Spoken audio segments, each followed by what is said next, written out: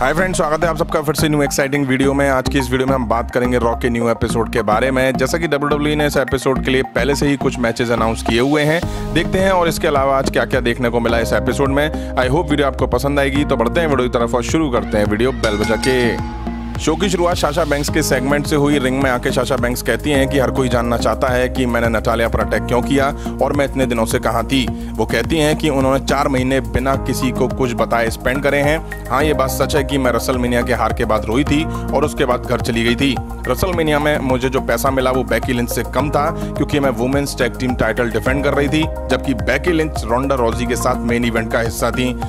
अब मैं खुद स्पॉटलाइट में आना चाहती थी और वापसी करते ही मैंने वो पा भी ली है। यही वजह है कि मैंने वापसी करते ही नटालिया पर अटैक किया, जो अपने फादर को याद कर रही थी। अब हर कोई जानना चाहता है कि वो क्या करेंगी, लेकिन उससे पहले साशा बैंक्स आगे कुछ कहती तभी नथालिया की एंट्री हुई। दोनों ही रिंग के बाहर एक दूसरे से बुरी तरह भिड़ गई। पहले नतालिया ने साशा बैंक्स को धोया और उसके बाद बैंक्स ने नतालिया को धोया। फिर नेटी ने स्टील स्टेप्स पर साशा बैंक्स को दे मारा। इसके बाद डब्ल्यू के ऑफिशियल ने आके इन दोनों को रोका। इसके बाद हमें रिकोशे वर्सेस ड्रू मैकेंटायर के बीच King of the Ring tournament का मैच दिखा। मैच शुरू होते ही ड्रू मैकेंटायर ने रिकोशे पर ज़बरदस्त अटैक करा और अपनी पावर से रिकोशे पर शुरू में ही हावी हो गए। अच्छा मैच दिखा इन दोनों के बीच। इसके बाद दोनों रिंग साइड पहुँचे, जहाँ रिकोशे ने पलटवार करते हुए ड्रू मैकेंटायर पर अटैक करा। रिकोशे ने ड्रू मैकेंटायर को उठाने की कोशिश करी बट ड्रू मैकेंटायर ने उन्हें पटक दिया। इसके बाद रिकोशे ने ड्रू मैकेंटायर की क्लेम और किक को काउंटर करा और 630 स्प्लैश मारकर मैच जीत लिया और टूर्नामेंट के अगले राउंड में पहुँच गए। इसके बाद हमें बैक स्टेज ब्रॉन स्ट्रॉमैन और सैथ रॉलिंस का इंटरव्यू दिखा। दोनों ने टैग टीम चैंपियंस होने के नाते कहा कि वो अपना टाइटल किसी के भी खिलाफ डिफेंड कर सकते हैं। तभी ब्रॉन स्ट्रॉमैन ने सैथ रॉलिंस को क्लैश ऑफ़ चैंपियंस में यूनिवर्सल टाइटल के लिए चैलेंज करा और सैथ रॉलिंस ने इसे एक्सेप्ट भी कर लिया।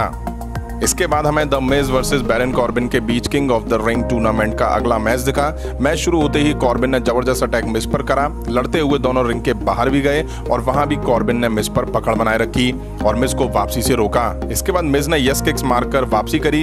इन इस बीच दोनों एक दूसरे पर अपना मूव लगाने में फेल हुए। एंड में कॉर्बिन ने मूव देकर यह मैच जीत लिया और टूर्नामेंट के नेक्स्ट राउंड में वो पहुँच गए। जीतने के बाद हमें बैरन कॉर्बिन का छोटा सा सेगमेंट दिखा। बैरन कॉर्बिन रैंप पर जाकर King of the Ring chair पर बैठकर कहते हैं कि कंपनी के पोल के बेस पर फैंस चाहते थे कि कोई भी जीते, लेकिन बैरन कॉर्बिन इसको ना जीते। फिर उन्होंने कहा कि मुझे लोगों को नाराज़ करने में मज़ा आता है।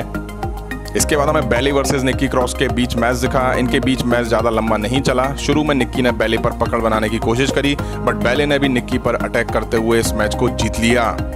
इसके बाद बैक स्टेज हमें अकेले ब्रॉन स्टॉमैन का इंटरव्यू देखने को मिला, जहाँ उन्होंने कहा कि वो आज एजे स्टाइल्स को हरा देंगे और क्लैश ऑफ़ चैंपियंस में पहले Raw tag team title defend करेंगे। उसके बाद सैथ रॉलिंस को हराकर यूनिवर्सल चैंपियन बनेंगे। मैं इन दोनों मैचेस को जीतने के बाद यूनाइटेड स्टेट्स चैंपियनशिप के खिलाफ भी मैच लड़ूँगा और मैच जीत जाऊँगा। ब्रॉन स्ट्रॉमैन कहते हैं कि आज ओसी के ना होने की वजह से एजे स्टाइल्स को मुझसे लड़ने में काफ़ी परेशानी होने वाली है।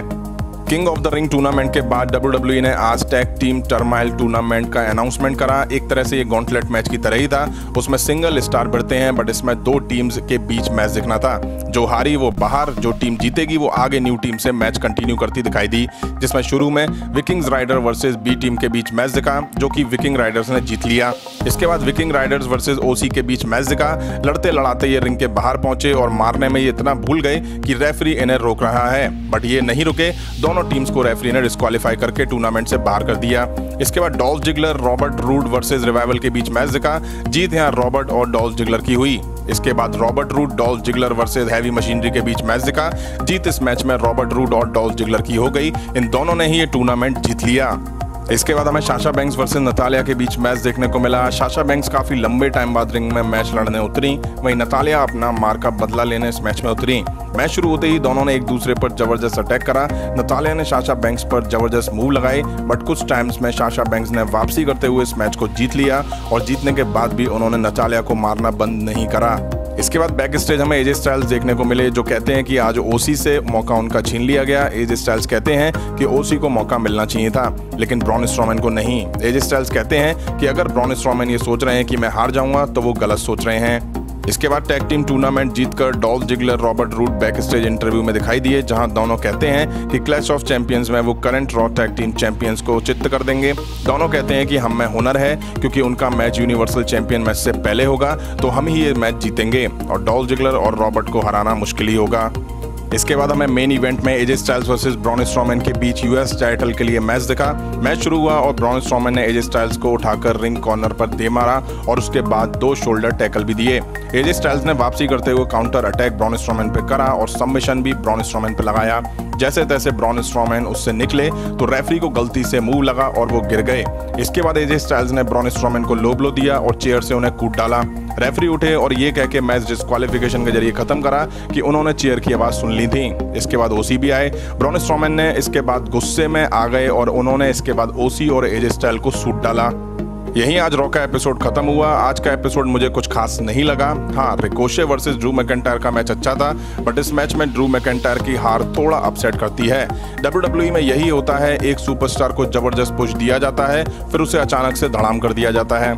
आज के एपिसोड का सबसे बेकार movement Seth Rollins versus Braun Strowman के बीच मैच अनाउंस होना रहा। दोनों पार्टनर हैं, उसके बावजूद मैच का मतलब समझ में नहीं आता है। या तो मैच अनाउंस करने से पहले इन दोनों के बीच कुछ खटपट दिखा देते, वहीं मैच केवल अब एक फॉर्मेलिटी के लिए ही होगा, ऐसा ही लग रहा है ये देख के। वैसे आपको कैसा लगा आज का एपिसोड कमेंट करके ज़रूर बताएगा फ़िलहाल इस वीडियो में इतना ही। पसंद आया तो लाइक और शेयर करें उस तरह के इंटरेस्टिंग अपडेट्स के लिए। चैनल के सब्सक्राइब पर एंड ऑफ़ डेज़ के लिए मोर मार्कर चैनल सब्सक्राइब करें। मगर प्यार से थैंक यू